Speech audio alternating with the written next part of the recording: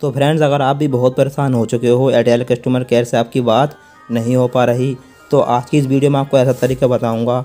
आपको अभी तक किसी ने भी नहीं बताया होगा।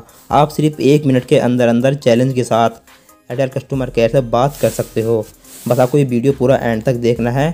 तो चलिए बिना बकवास के इस वीडियो को शुरू कर लेते हैं। हाँ जल्दी करो। मुझे पता है कि आप लोग नहीं करते वीडियो देखते हो लेकिन सब्सक्राइब नहीं करते। लाल कलर का बटन नहीं से दबाओ। जल्दी दबाओ। जल्दी दबाओ फिर मैं शुरू करूँ। दबा दो जल्दी। दबा दिया। घंटे में दबा देना ठीक है? तो यहाँ पर आपको जैसे कि मैं बिल्कुल लाइव प्रूफ दिखाऊँगा। वीडियो को बिल्कुल ध्यान से देखना है। अब यहाँ पर मैं जैसे कि एक नंबर एक सीक्रेट कोड डायल करूँगा। आपको वही अपने फ़ोन में करना है। तो यहाँ पर जैसे कि मैं डायल कर लेता हूँ। उन्नीस पच्चीस।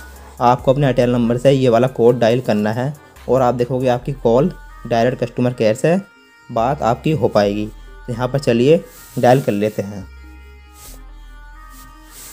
एयरटेल में आपका स्वागत है। एयरटेल 5G प्लस अब लाइव है। हिंदी के लिए एक दबाएँ। फॉर इंग्लिश मोबाइल इंटरनेट सेवा अब आपको कुछ नहीं करना है बस ऐसे ही सुनते रहना है।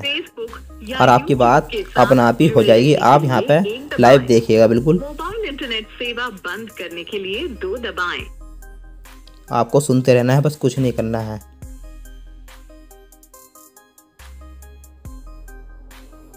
दोबारा सुनने के लिए शून्य दबाएँ। अब यहीं पर आपको कस्टमर केयर का नंबर बताएगा ये कृपया चुने हुए विकल्प को डायल करें या हमारे दोहराने तक इंतज़ार करें दोबारा सुनने के लिए शून्य दबाएँ। हमारे कस्टमर सर्विस स्पेशलिस्ट से बात करने के लिए नौ दबाएँ। तो गाइस आपको नौ दबा देना है कृपया लाइन पर बने रहें। आपकी कॉल कस्टमर सर्विस स्पेशलिस्ट को ट्रांसफ़र की जा रही है ये कॉल सर्विस क्वालिटी की जाँच के लिए रिकॉर्ड की जा सकती है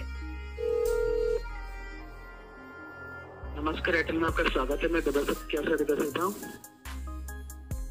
तो जैसे कि दोस्तों, आपने बिल्कुल लाइव देख लिया है, कितनी आसानी से कस्टमर केयर से हमारा बात हो गया है। आप भी इसी तरीके से कर सकते हो। आपको वीडियो पसंद आए तो लाइक करना, चैनल सब्सक्राइब करना, साथ ही बेल बटन दबा के प्रेस भी कर देना।